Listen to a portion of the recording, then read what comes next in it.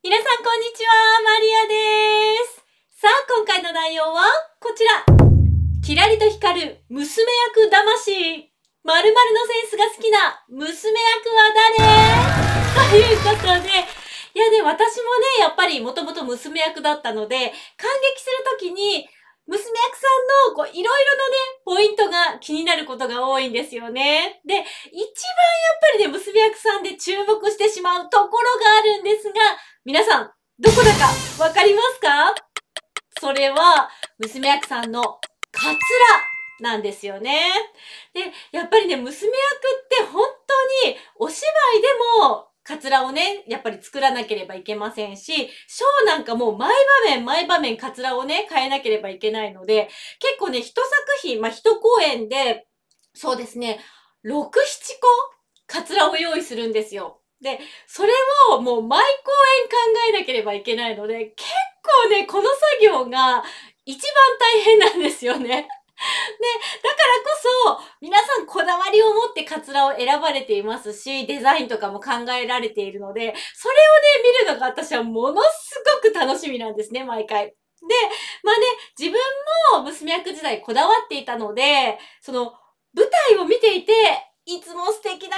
センスだなとか、こういうカツラがあったんだっていうような、もうね、そのセンスがキラリと光る、私の、あくまで私の好みだなと思った娘役さんをね、皆さんにぜひご紹介したいなと思って今日はこの動画を撮っています。なのでね、皆さんぜひとも最後までチェックしてください。それでは早速、行ってみましょうはい、ということで、いやね、もう各組ね、本当に皆さん素敵なね、センスを持った娘役さんが多いんですけれども、やっぱりね、毎公演どうしても目がこう止まってしまう、あ、素敵って思ってしまう娘役さんって結構ね、いるんですよ。で、それはやっぱり人それぞれだと思うんですよね。見る人それぞれだと思いますし、あくまでは私の好みというか、私が素敵だなと思う娘役さんを、今回はね、各組2名ずつ選ばせていただきました。では、ね、花組からご紹介していきますね。で、まずはこの方。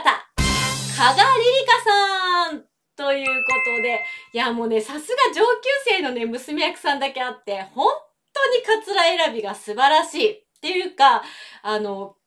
まあ、上級生なのでね、カツラを多分一番考える力も持っていますし、もう長年の経験からね。で、自分に合うカツラっていうのもよくわかってらっしゃると思うんですけれども、その、お芝居だったらしっかりと時代背景に合っていて、かつ自分にものすごくフィットしているカツラをいつも被ってらっしゃって、それがね、なんか、その役とのカツラのそのなんていうか合わせ方というか、そこがもう本当にいつも素晴らしいなと思っています。で、ショーでもやっぱりこう上級生の娘役さんだけあって、みんなとちょっと違うところにスパイスを入れてきたりとか、あ、こう来たかっていうようなカツラをね、作ってこられるんですよ。で、それは本当になんか半カツラといってね、半分のカツラ、まあ、ここからつけるカツラがあるんですけれども、そういうカツラの場合もありますけれども、やっぱりね、お団子キャップの作り方が本当に素晴らしい。で、お団子キャップっていうのは、本当に娘役が髪をね、こう一つにまとめてお団子を作るじゃないですか。でそこにキャップをかぶせるっていうのが、まあ、まとめ髪の王道スタイルなんですよね。で、このお団子キャップも、結構本当にこだわりを持って皆さん作っていて、で、その飾りとかも結構ね、皆さん徹夜で本当に作ったりするんですよ、娘役って。で、そのデザインがいつも本当に素敵で、で、お団子キャップって結構難しくって、その大きさとか、こう、顔を真正面から見たときに、どの角度にそれが見えるように来るのかとか、ものすごく計算しないと、結構美しくならなかったりするんですね。で、その付け方とかも、ちゃんと計算されていて、角度から見てもね、リリカちゃんいつも素敵なんですよね。なので、私はね、そこをね、いつも注目しています。はい。さあ、そしてもう一人はこの方。アナゆうきちゃんということで、まあトップ娘役さんなのでね、どうしても注目される立場の人なんですけれども、それでも、やっぱりね、花ちゃんに似合ったカツラを毎回ちゃんと作られているなと思いますね。で、それも、ぱり花ちゃんの特性というか、あの可愛らしい雰囲気、ふわふわとした、本当にお花のような雰囲気を活かした、その髪の毛のデザインをしっかりとね、考えられているなって思いました。で、それは、ショーでももちろんですし、お芝居でももちろんですけれども、自分に合ったその長さのものとか、その跳ね方一つ、で、ふわふわした食、あの、感じのそのデザインの仕方とかも、花ちゃんに合ったものをすごく選ばれているなって思って、私はね、結構、下級生の頃から、あ、カツラのセンスがすごくいい子なんだなっていう風にね、思って見ていました。で、まあ、今回でね、ちょっと最後なので、花ちゃんが最後の公演で、またどんなカツラをね、選ばれて、どんなカツラをつけて、お芝居をされたり、歌ったり踊ったりされているのか、ちょっと最後まで本当に見守りたいなと思っています。はい。さあ、それでは月組行きましょうね。月組、まずはこの方です。はい。海のみつきさんということで、海ちゃんもね、本当にね、素晴らしいんですよね。私、この間のダルレイクの恋の時に、うわぁ、海ちゃんのカツラのセンスが好きって 思いましたね、本当に。で、やっぱり、あの、どちらかというと海ちゃんは、やっぱりカツラが大人っぽい娘役さんのイメージのものをよく作られていて、まあ、特にショーとかでは本当にそうで、で、あんまりゴテゴテしてないシンプルなものが多いかなと思いますね、海ちゃんに関しては。で、それがまたご本人にすごくぴったりと合っていて、で、自分をよくわかってるカツラを選んでるなっていうのがね、私の印象です。もう本当にこの間のダルレイクの恋がめちゃくちゃ素敵で、本当にあの、カツラのセンスというか、娘役としてのセンスがものすごく光っていたなと思いましたね。でやっぱりああいうインドの作品だったりとか、そういうなんか、時代背景だったりとか、場所、国によって、カツラもね、選び方が違いますし、そういうのも、やっぱり上級生の娘役さんになると、ちゃんと綿密にこだわって作られているなっていうのが伝わってきて、私ね、すごく海ちゃんのカツラ選び大好きなので、皆さんもね、ぜひチェックしてみてください。はい。そして、二人目、この方です。ゆいかれんさんということで、もうゆいかれんちゃんはね、本当に、私、まあ、お顔がまずね、もうそう、ビジュアルがまずタイプなんですけれども、毎回、そのカツラ選びが、ゆいかれんちゃんじゃないと、似合わないんじゃないかなって思うような本当にジャストフィット可愛らしいカツラを、あの、作られていて、で、それが割とやっぱり今時な感じの娘役さんだなって思うんですよね。で、そこがいいとか悪いとかじゃなくて、私は本人にとても似合っていていいな、素敵だなって思うんですよ。で、きっとカツラのその作り方というか考え方とか、あとセンスとかも、私たちの時代のものと今の方々が考えるものってきっと違うと思うんですよ。で、それはいいと思うものが違いますし、時代も違うので、なんですけれども、そのゆいかれんちゃんの選ぶカツラのセンスっていうのが、本当に昔からの娘役の良さも、こう、合わせつつ、今風のカツラも作ってるっていう、そこが、よく考えてるな って思って。なんか、すごく下級生ながら、素敵だなって毎回思いながらね、見ていますね。あとはやっぱりもう本当に可愛い。もう何を被っても可愛いって思うので、カツラのセンスうんぬよりも、ね、ゆいかれんちゃんが可愛いっていう噂もありますけれども、でもね、カツラもほんと皆さん毎回すごくセンスがいいので、ぜひチェックしておいてください。はい。さあ、そして、雪組は、まずこの方。はい。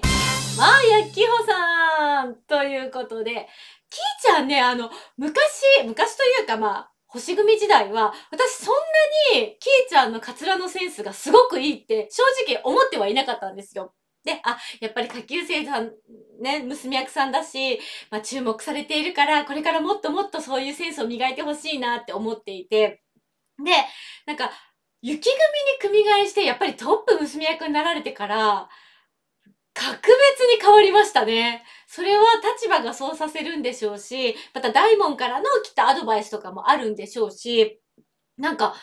本当にカツラのセンスが抜群に良くなりましたね。で、なんか、キーちゃんが選ぶカツラのセンスって、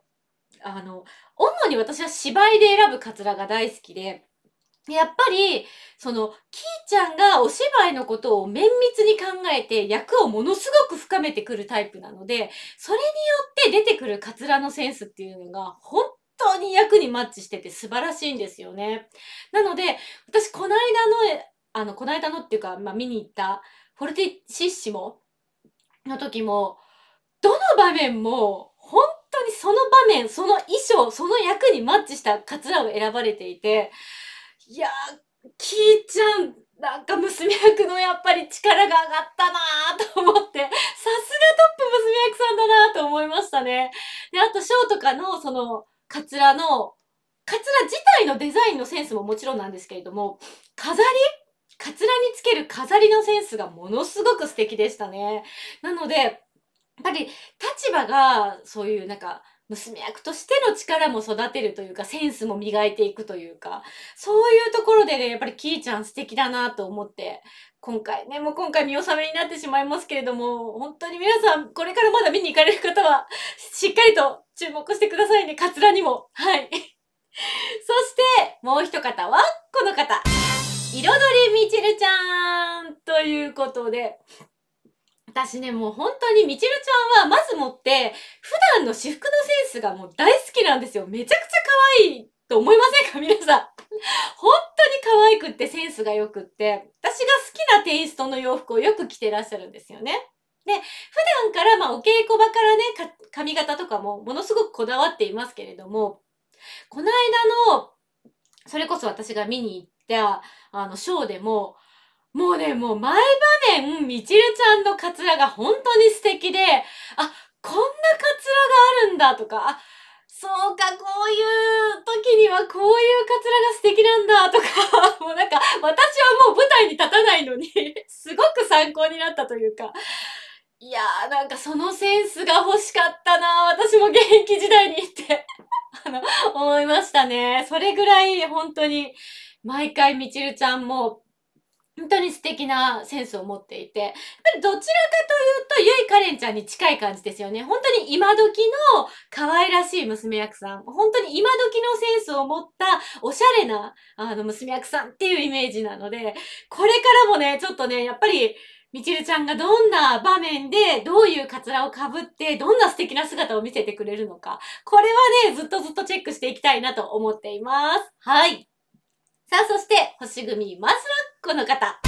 音羽みのりちゃんということで、まあね、はるこちゃんもやっぱり上級生のね、娘役さんなので、あの、すっきりとしたシンプルなタイプのカツラをよくつけていらっしゃいます。でも、あの、結構、東京と大劇場を変えていたりとか、あとは大劇場東京でやっていた公演が、他の別箱でやるときには、また別のカツラをね、しっかり用意されていたりとか、そういうね、こだわりが見えるのが私はとっても好きですね。やっぱり、娘役としてのこう、娘役魂というか、ちょっとのところでも変えていってやるみたいな、こういろんな、いろんな、なんて言うんですか、姿を見せたいみたいな、そういう貪欲なところがね、この学年でもしっかりと見えるっていうのが私はとっても好きで、ね、はるこちゃんも、やっぱりまとめ髪のカツラのセンスがものすごく素晴らしくって、そのカツラの大きさとか、あと、このお団子にしてもどこにそのポイントが来るのかによって、全然見え方が違うんですよ。本当にちょっとずれるだけでも全然違うので、そのカツラの作り方はもちろんですけども、やっぱりつける位置、そういうところにもものすごくこだわりを持っているので、私、はるこちゃん、本当に注目しています。皆さんもぜひチェックしてください。さあ、そして、もう一人は、この方。舞空ひとみちゃんということでね、トップ娘役のなこちゃんですけれども、私ね、なこちゃんは、下級生の頃から、本当に素敵なカツラをよくつけていて、で、やっぱり下級生ってまだ、その自分に似合うカツラのタイプもよくわかってませんし、どういう毛の長さにするのか、どういうボリュームにするのか、例えば顔のこのあたりで長さが終わった方が綺麗なのか、顔の作りによってどこにポイントを持っていくかによって本当に違うんですよ。でも、なこちゃんって、本当に下級生の頃からそれがすごくよくわかっていて、自分に似合うカツラをしっかりと選ばれていましたし、そのカツラのセンス、デザインのセンスっていうのもものすごく素敵で、なので、私はあこんなに下級生なのに、全外れがないんだなって思って感心していました。で、そしてやっぱりトップ娘役になられてからは、ね、つけるカツラの量も多くなりますし、何個も何個も用意しなくてはいけないけませんし、そのカツラにつける飾りとかも、やっぱりね、もう、なこちゃん、私不器用なんで時間がかかるんですっていうふうにいつもおっしゃってますけれども、それでも、毎回ね、私感心するようなカツラを作ってこられるんですよね。なので、結構トップ娘役さんって、数が多い分、本当に大変だろうなって思いますし、なんかもう、出尽くしていっちゃうんじゃないかなと思うんですけれども、やっぱりなこちゃんは、小さい頃から宝塚が大好きでずっと見ていたっていう影響があるのか、本当に昔からのこう娘役さんが作ってきたようなオーソドックスなカツラから、今時のおしゃれなカツラまで、本当にね、バリエーションが豊かなんですよね。なので、ショーを見てても、あ、こんな、あ、こんな素敵なカツラがあるんだとか、あ、今の髪型すごい素敵って、本当にね、見入っちゃうぐらい、カツラのセンスが素晴らしい。なのでこれからもね、またどんどん磨かれていくと思うので、楽しみにしていきたいと思います。